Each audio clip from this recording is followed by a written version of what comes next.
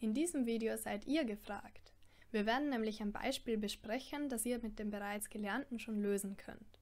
Prinzipiell geht es darum, dass Funktionsgleichungen in der Scheitelpunktform gegeben sind und ihr den dazugehörigen Funktionsgraphen finden sollt. Das Beispiel sieht so aus, nehmt euch einen Augenblick Zeit, euch auf dem Arbeitsblatt zu orientieren. Dann erinnern wir uns zurück, wie hat die Funktionsgleichung ausgeschaut. Ah ja. Und da gibt es eigentlich drei Werte, die uns Informationen geben können. Einmal das a, das kann größer 0 sein, es handelt sich um eine nach oben geöffnete Parabel. Es kann kleiner 0 sein, die Parabel ist nach unten geöffnet. Dann ist dieser Ausdruck interessant, besonders das xs, das kann größer 0, kleiner 0 oder gleich 0 sein. Ist es größer 0, bleibt hier das Minus in der Klammer. Ist es kleiner 0, Minus, Minus steht also ein Plus in der Klammer. Ist es xs gleich 0, fällt das ganz weg und wir haben x hoch 2 übrig. Und natürlich das ys, das ebenfalls größer, kleiner oder gleich 0 sein kann und hier in der Funktionsgleichung steht.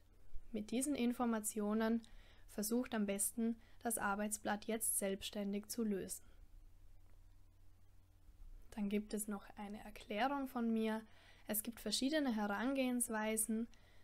Ähm, als Orientierungspunkt kann ich euch mitgeben, dass es hilft, wenn man Gemeinsamkeiten und Unterschiede der Funktionen findet.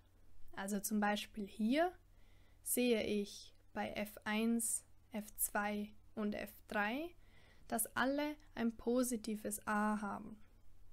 Bei F4, F5, F6 ist das a immer negativ. Also hier suchen wir Parabeln, die nach unten geöffnet sind, hier Parabeln, die nach oben geöffnet sind. F1 hebt sich ein bisschen von F2 und F3 ab. Man sieht nämlich, dass das xs gleich 0 ist. Der Scheitelpunkt befindet sich also auf der y-Achse. Das ys ist minus 4.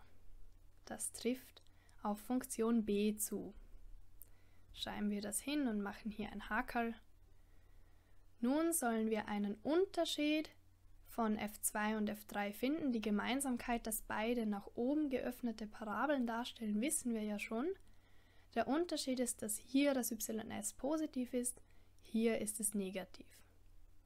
Das heißt, f2 entspricht dieser Funktion f und f3 entspricht der Funktion a. Nun schauen wir uns Funktionen f4 bis f6 an. Wir haben immer ein negatives a, alle Parabeln, die noch übrig sind, sind nach unten geöffnet und das ys ist immer positiv. Das hilft uns leider nicht weiter, die Zuordnungen einzuschränken. Wir müssen einen Unterschied finden. Und das finden wir beim xs. Hier ist das xs positiv, hier ist es negativ und hier ist es gleich 0. Das heißt, die Funktion f4 hat den Scheitelpunkt 3, 1. Das trifft auf die Funktion e zu.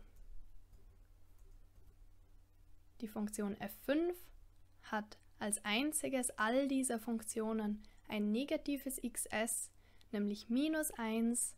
Der Scheitelpunkt heißt minus 1, 2. Das trifft auf die Funktion c zu.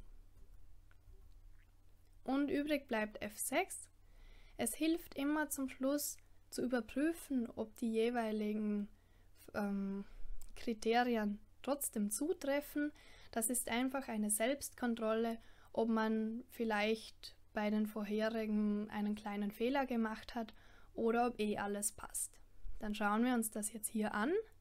Wir haben ein negatives a, die Parabel ist nach unten geöffnet, das xs ist gleich 0, das ys gleich 4, der Scheitelpunkt sollte sein 0, 4. Und das trifft alles auf die Funktion d zu, das heißt, wir haben die Aufgabe erfolgreich gelöst.